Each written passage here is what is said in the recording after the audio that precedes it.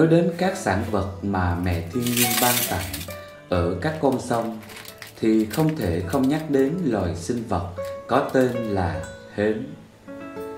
Hến là một họ của các loài nhuyễn thể hai mảnh vỏ, sống ở vùng nước lợ và nước ngọt. Hình dạng hến chỉ lớn hơn đầu ngón tay, có vỏ hình bầu dục hay tam giác, gần tròn, cân đối, vùng đỉnh vỏ, nhô cao, mặt ngoài vỏ nhẵn và bóng, màu vàng xanh hay vàng đen, mặt trong màu trắng hay sáng. Hến là loài thực phẩm không chỉ ngon miệng mà còn có chứa rất nhiều dưỡng chất có lợi cho sức khỏe. Vitamin B12 và sắt có trong thịt hến rất nhiều, tốt cho những người thiếu máu và những người mắc các bệnh về tim mạch. Hến to mập khỏe là những con rùa được đánh bắt lên, đảm bảo độ tươi ngon và hương vị riêng biệt. Hến là nguyên liệu được nhiều người yêu thích vào mùa hè bởi tính mát, thanh nhiệt của nó. Hến sống trên mặt bùn ở đáy sông hồ, vùng nước ngọt và nước lợ.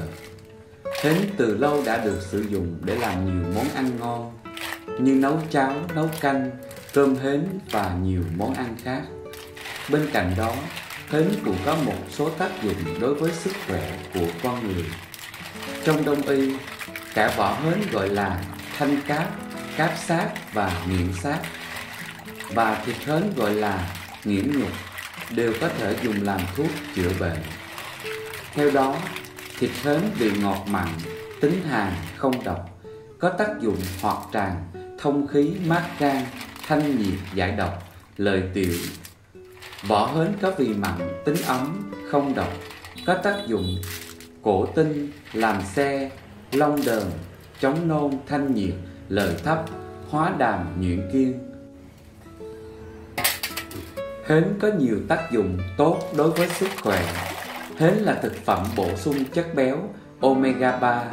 Đây là một loại axit béo có khả năng làm giảm lượng mỡ trong máu, có khả năng kiềm hãm, làm chậm lại sự phát triển của các mảng vữa động mạch, ngăn ngừa nguy cơ dẫn đến chứng sơ vữa động mạch và chứng đột quỵ, giúp cho hệ tim mạch luôn khỏe mạnh.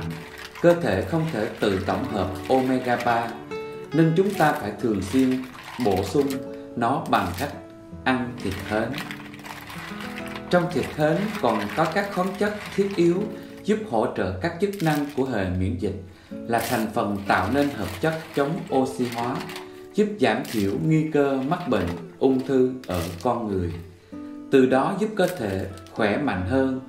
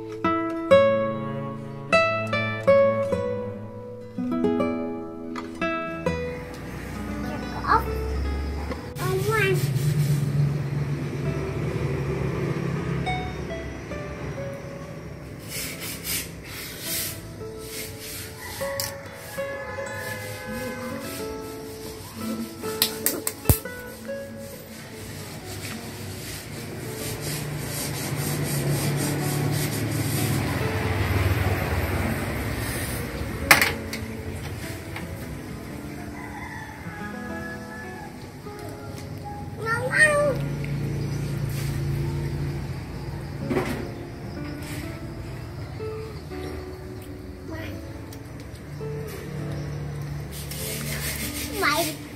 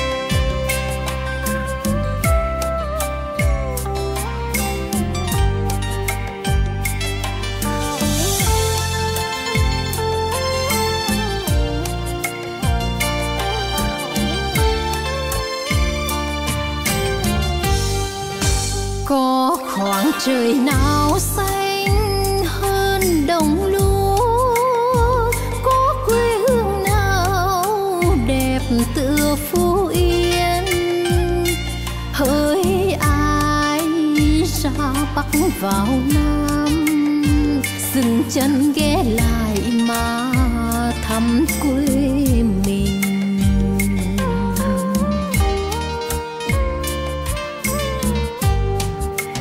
Nắng trải đồng vàng thênh thang vừa thóc sáng ai chim đông, đẹp tươi.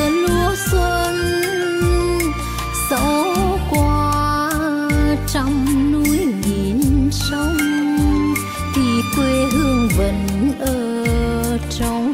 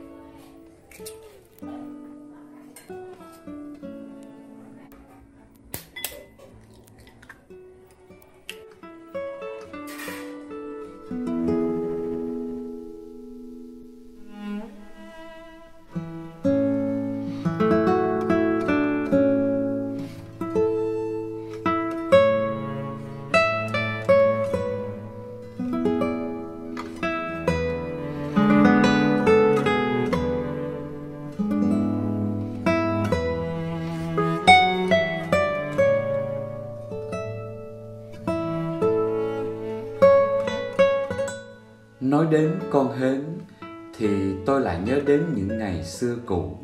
Trốn ba má đi theo các cô chú, anh chị, ra bờ sông Ba và bến cảng Đông Tác, mò bắt hến và các loại ốc sò. Ta nói à, nó vui gì đâu á. Nhớ nhớ lắm, nhớ một thời trẻ thơ nhiều kỷ niệm hiện về trong lúc này.